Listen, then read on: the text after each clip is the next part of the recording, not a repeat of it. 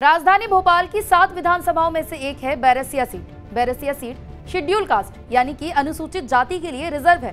Berasia seat के गठन के बाद से अब तक चौदह बार चुनाव हो चुके हैं और सिर्फ़ दो बार ही कांग्रेस जीती है। लेकिन इस बार कांग्रेस इस सीट को जीतने के लिए कड़ी मशक्कत कर रही है। बैरसिया विधानसभा सीट मध्य प्रदेश की विधानसभा में एक सौ उनचास नंबर की सीट है, जो भोपाल ज़िले की ग्रामीण सीट कहलाती है। यहाँ बीजेपी के विष्णु खत्री विधायक हैं। इस सीट का लगभग निन्यानवे फ़ीसदी क्षेत्र ग्रामीण है। बैरसिया का राजनीतिक गणित देखें तो मध्य प्रदेश गठन के बाद साल उन्नीस सौ सत्तावन में यहाँ चुनाव हुए तो कांग्रेस ने भगवान सिंह को टिकट दिया। वे विजयी होकर सदन पहुँचे, लेकिन क्षेत्र में हिंदुत्व की लहर थी। इसलिए साल उन्नीस सौ बासठ में अखिल भारतीय हिंदू महासभा के भैयालाल विधायक बने। इसके बाद जब जनसंघ बनी तो साल उन्नीस सौ सड़सठ के चुनाव में लक्ष्मी नारायण शर्मा ने जीत हासिल की। अगली बार लक्ष्मी नारायण शर्मा का टिकट कटा और उनकी जगह उन्नीस सौ बहत्तर में गौरी शंकर कौशल ने भारतीय जनसंघ से चुनाव लड़ा और वो जीत गए। हिंदुत्व विचारधारा की जीत का सिलसिला यही नहीं रुका। साल 1977 में जब जनता पार्टी बनी तो गौरी शंकर कौशल को दोबारा चुनाव में उतारा और वो फिर से जीते। इसके बाद भारतीय जनता पार्टी का गठन हुआ और साल 1980 में टिकट मिला लक्ष्मी नारायण शर्मा को। इसके बाद लक्ष्मी नारायण शर्मा ने लगातार उन्नीस सौ तिरानवे तक, यानी चार बार विधायकी भाजपा को जिताई। साल उन्नीस सौ अट्ठानवे में कांग्रेस की जीत का सूखा खत्म हुआ और जोधाराम गुर्जर जीत कर विधायक बने। उनकी ये जीत पिछड़ा वर्ग के वोटों के संगठित होने से हुई थी। तो भाजपा ने जब सीन बदलते देखा तो साल 2003 में ठाकुर प्रत्याशी भक्तपाल सिंह को मैदान में उतार दिया, जो कि पिछड़ा वर्ग पर अच्छी खासी पकड़ रखते थे, जबकि कांग्रेस ने इस बार ब्राह्मण को टिकट दिया था और परिणाम भक्तपाल सिंह जीत गए।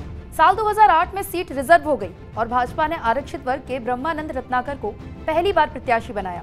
उन्होंने कांग्रेस के हीरा लाल को तेईस वोटों से हराया। इसके बाद भी 2013 में भाजपा ने विष्णु खत्री को मौका दिया। खत्री कांग्रेस के महेश रत्नाकर को उनतीस वोटों से हराकर विधानसभा पहुँच गए। बीजेपी ने फिर 2018 में विष्णु खत्री को ही प्रत्याशी बनाया। कांग्रेस ने महिला प्रत्याशी जयश्री किरण को मैदान में उतारा। लेकिन इसमें भी कांग्रेस सफल नहीं हो सकी। विष्णु खत्री ने जयश्री हरिकिरण को तेरह वोटों से हरा दिया। ग्रामीण क्षेत्र के हालात खराब होने के बावजूद यहाँ से बीजेपी का विधायक लंबे समय से जीतता आ रहा है। माना जा रहा है कि बीजेपी के हिंदुत्व के आगे कांग्रेस का हर दाव फेल साबित हो रहा है।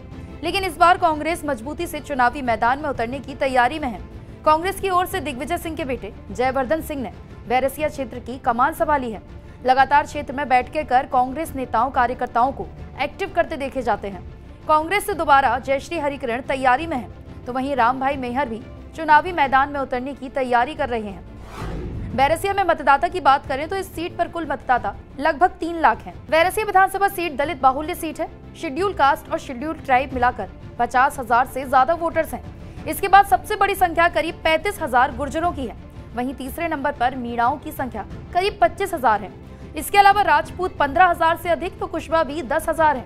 करीब सात हज़ार ब्राह्मण है और सबसे कम मुस्लिम मतदाता है। यहाँ कल 270 मतदान केंद्र पर वोटिंग होती है। अभी भोपाल जिला पंचायत अध्यक्ष और बैरसिया जनपद अध्यक्ष दोनों ही गुर्जर हैं।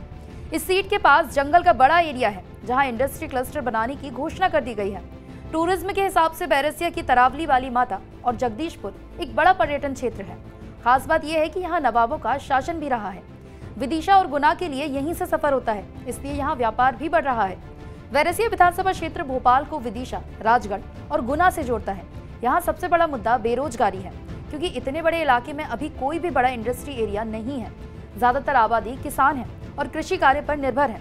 स्वास्थ्य सेवाएँ यहाँ की बड़ी समस्या है। प्राथमिक स्वास्थ्य केंद्र में ठीक स्वास्थ्य व्यवस्थाएँ नहीं है।